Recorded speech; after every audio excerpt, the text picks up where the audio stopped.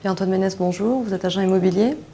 Le projet de loi présenté par Madame Duflot prévoit la suppression des honoraires locataires. Bonne ou mauvaise nouvelle pour les locataires? Sur le papier, bien sûr, bonne nouvelle. Mais en réalité, c'est un effet d'annonce. Comprenez le chiffre principal. 30% du parc locatif privé est géré par les professionnels. 3 appartements sur 10. Et sur ces 30%, nous avons un turnover de 10%. C'est-à-dire qu'en fin de compte, les honoraires locataires touchent 3% des locataires.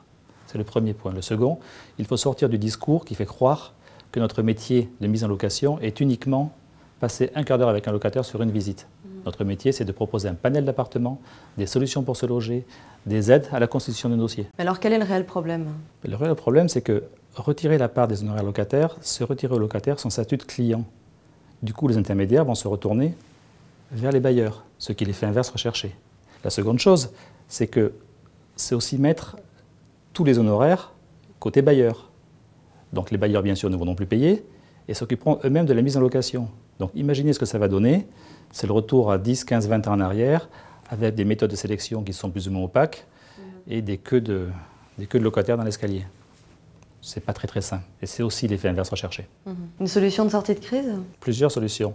La première, admettre qu'il est légitime de percevoir des honoraires quand on aura un service. Et j'irai même plus loin, nous laisser la possibilité de proposer d'autres services, l'aide au déménagement, les abonnements, les assurances.